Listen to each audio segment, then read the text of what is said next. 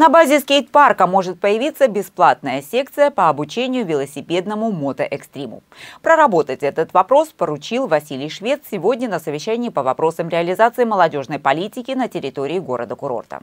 Участвовали вице-мэр, главы сельских округов, руководители подразделений мэрии, представители Совета молодых депутатов и молодежных организаций. У нас очень много талантливой, инициативной креативной, интересной молодежи. Это будущее нашего курорта, его перспективы, потенциалы. С каждым годом она должна, в кавычках, конечно, молодеть. Должно много больше сюда приезжать молодых специалистов в разных сферах. И в волонтерстве, и в спорте, и в науке, и в IT, и в виноградарстве, и виноделии, и в санаторно-курортной сфере.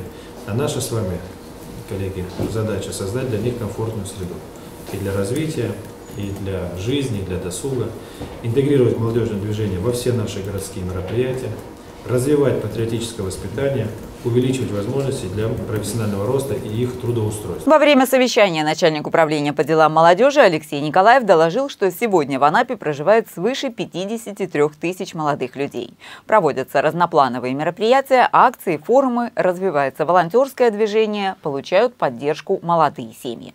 Василий Швец отметил, что молодежь надо активнее вовлекать во все городские мероприятия и процессы, в том числе управленческие.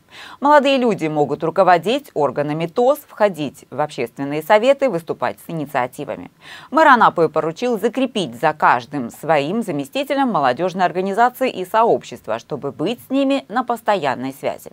Говоря о процессе профориентации, Василий Швец отметил необходимость сделать акценты на направления наиболее значимые значимые для Анапы – виноградарство, виноделие, курортное дело, IT, ландшафтный дизайн и другие.